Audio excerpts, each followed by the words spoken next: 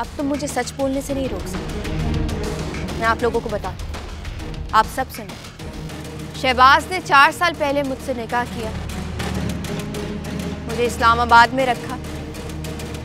और उसके बाद एक दिन बिना बताए मुझे तलाकनामा भेज दिया। दादी जान मैं शर्मिंदा हूँ। मेरी बहन की वजह से आप सब परेशान हैं। सिर्फ़ इतना साबित करना चाह रहा था कि मैं बेकसूर हूँ बेगुनाह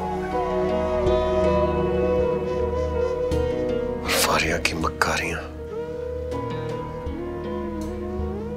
उसकी चालाकियाँ सबके सामने लाना चाह रहा था। किसी ने मेरी बात ही नहीं सुनी।